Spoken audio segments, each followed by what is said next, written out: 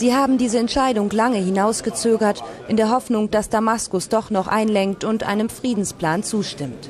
Dann stehen die Sanktionen gegen die syrische Regierung fest. Auf einer Pressekonferenz am Rande des Treffens spricht der türkische Vizepremier aus, was wohl viele hier denken. Die syrische Regierung hat eine wichtige Chance verpasst und den möglicherweise letzten Vermittlungsversuch. Die arabischen Staaten legen alle Beziehungen zu Syrien auf Eis, wollen keine Regierungsmitglieder mehr einreisen und keine syrischen Flugzeuge mehr landen lassen. Investitionen werden abgezogen.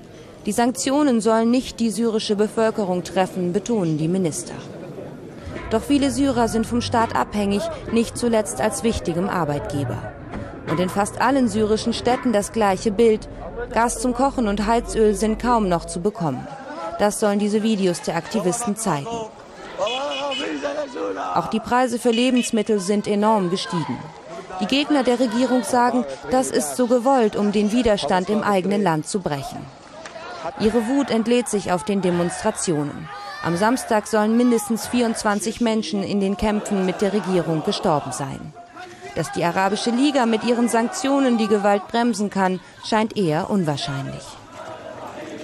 Die Arabische Liga hat harte Sanktionen gegen das syrische Regime verhängt. Die Außenminister der Liga beschlossen, die Handelsbeziehungen mit Damaskus auf Eis zu legen und Konten der Regierung einzufrieren. Zudem würden Flugverbindungen zwischen den arabischen Ländern und Syrien ausgesetzt, Verantwortliche mit einem Reiseverbot belegt. Das Regime geht unterdessen weiter mit brutaler Gewalt gegen Demonstranten vor. Die Arabische Liga hat in Kairo Strafmaßnahmen gegen Syrien verhängt, wegen der Gewalt, mit der das Assad-Regime gegen friedliche Demonstranten vorgeht. Die Außenminister einigten sich unter anderem darauf, Handelsbeziehungen auszusetzen und Konten einzufrieren. Außerdem dürfen verantwortliche syrische Regierungsmitglieder nicht mehr über arabische Flughäfen reisen.